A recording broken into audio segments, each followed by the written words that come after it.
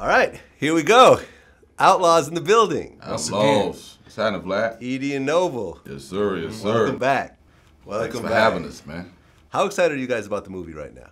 Very excited, man. You know, 20 years in the making. You know, um, behind the scenes stuff. They've been having a deal for since like what? You know, for the last eight, nine years or something. So to see it actually finally come, finally come to life. You know, despite all the things that have been going on. Um, Pac deserve it. The fans deserve it. You know, it's an awesome thing, man.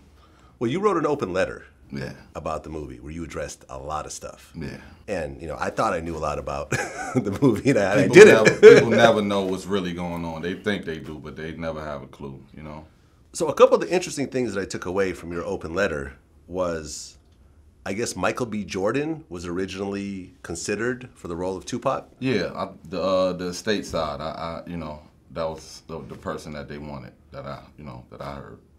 That'd be interesting. I mean, he's a dope actor. he's you a very dope Yeah, actor. he's, he's great. you That's He was look- actually uh, somebody I, I brought brought up. Yeah, I think Huh. Edie, to Edie- LT Hutton yeah. and, and, and Yeah. um, Benny, and you know, they Edie had like liked too. reasons for going with somebody else. But he was my first Right. initial pick. Dope actor doesn't really look like Tupac. Right.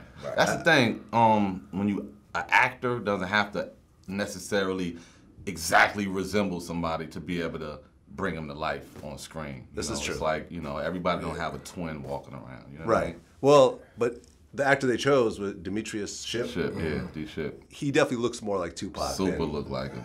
Just like him. Absolutely. You think he pulled off the role well? Extremely well. Uh, the, the people gonna fall in love with the bro. He carries the movie. Yeah. He carries the one. He has to. Yeah, He's playing he- You Tupac. know what I mean? He he does that. For He his does a good first job at that. for his first role ever, Right. um, you can imagine what kind of pressure, you know, Right. every day, you know, once the people found out it was him, the fans was, you know, beating him up every day online, like you fucking better do this shit, and you Right. know, and um, you know, when I met him, you know, I was um, he's just a, a genuine dude, man. You know, what Shout I mean? out to his acting coach too, Yeah, Angela Gibbs. Angela Gibbs. Marla Gibbs' daughter. Um, she worked real close with him and getting him ready for this role, and even during the filming process, every day, she was working with him.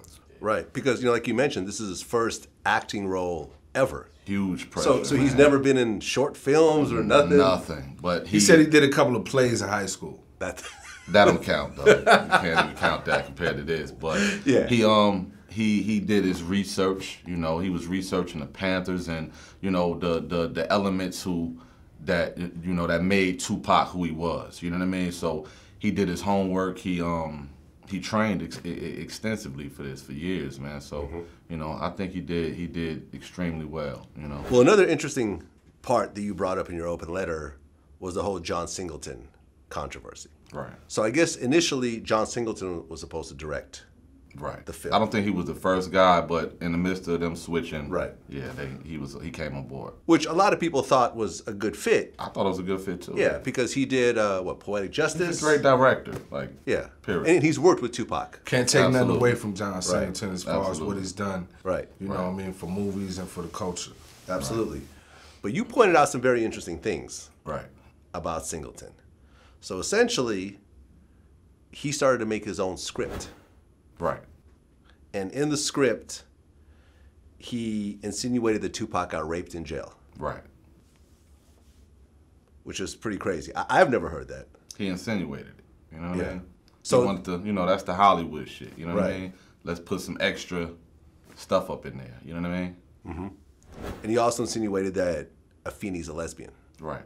That's what he which. I've, I've never heard before either. because it's not true. Right. He, he insinuating stuff, you know, and they fired him, you know.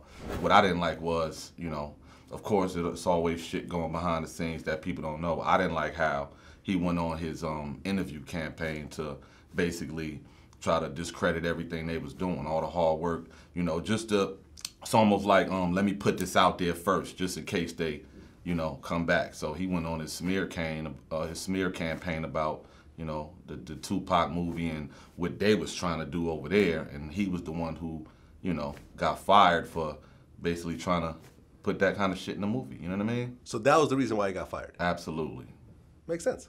Makes sense. Right. Like when I when I got the call that he got fired, I'm like, fuck, like he was the perfect guy.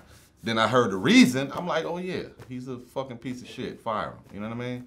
Right, because yeah, because then he started doing interviews about it. I guess he was saying he, he's going to do his own Tupac movie right, later on. Right, right. So he, you know, he got fired, and of course he don't, he didn't want people to know, you know, why he got fired. So of course he went on his campaign saying, yeah, well I left because they wasn't trying to play Tupac right and trying to, you know, discredit his, his mom and you know. Yeah, and it was just you know, I, I, me personally, I would expect more from John Singleton because you know, um, race, race doesn't matter. But John, you were a, a new black film director at one time in your career, Right. and you uh, got criticism. You know what I mean early on, and now you turn around and do the same thing to Benny Boom and. You would expect John Singleton to say, you know what, that happened to me before. I'm not gonna do that. Even though I'm not in agree- agreement with whatever happened, I'm gonna just keep my mouth closed.